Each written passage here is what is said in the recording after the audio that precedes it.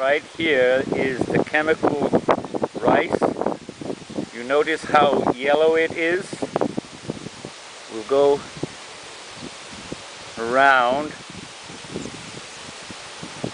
to the plots. This is not a plot. We're coming to the plots.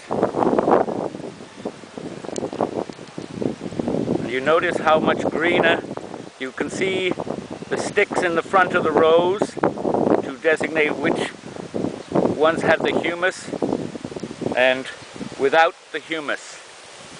But let me show you again. You look how green this is and then this is the chemical rice, how much lighter green it is.